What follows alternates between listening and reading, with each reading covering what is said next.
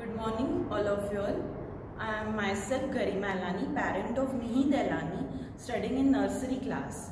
My student, uh, my child is um, a student of Darshan Academy. He learns here the moral values.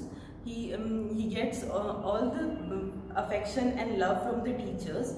Here the proper uh, we get values of truthfulness, kindness, compassion, love, peaceful, and all. The student is always getting good background so that his future is also good.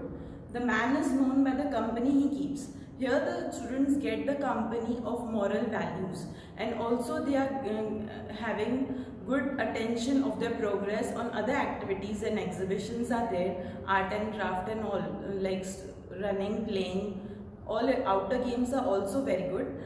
The first and the most important thing in Darshan Academy is the part of meditation. All the students are getting initial initialization with meditation because the first day, first step of the day is meditation. It's peace of mind. When our mind is in this world of tension and stress, when we get 5 to 10 minutes for peace of mind, we can take the decisions in proper way. And in the way which we take, it's in peace of mind, we'll take right decision. Second thing, you, you get its worth when it's gone. When these 5 to 10 minutes are gone, then you will get its worth. So don't let it go. The, and another thing of this, apart from meditation and moral values here, they are also giving uh, proper attention on the progress of the life and the future.